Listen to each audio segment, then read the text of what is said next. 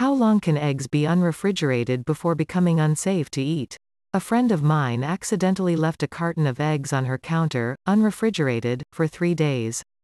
The eggs had been previously refrigerated both at the store and at home.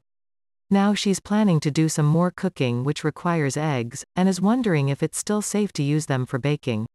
I believe she is planning on baking cookies with them, so they would be baked at fairly high temperatures for probably at least 10 minutes.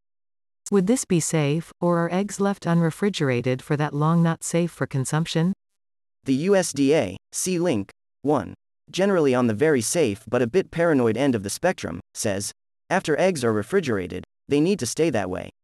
A cold egg left out at room temperature can sweat, facilitating the movement of bacteria into the egg and increasing the growth of bacteria.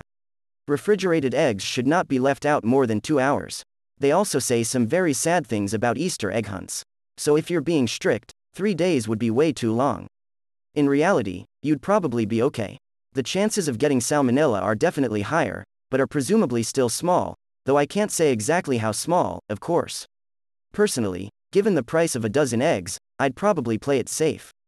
Another answer mentions that in the UK eggs are stored at room temperature. That's true in quite a lot of places, but I'm guessing that they've avoided the large temperature swing issue mentioned by the FDA, so if your friend's eggs were refrigerated in the store, the situation's not quite the same as in the UK. I never refrigerate eggs. They are marked for room temperature storage in UK and perfectly safe up to, and after, the use by date. Three days should be no problem unless you live somewhere really hot.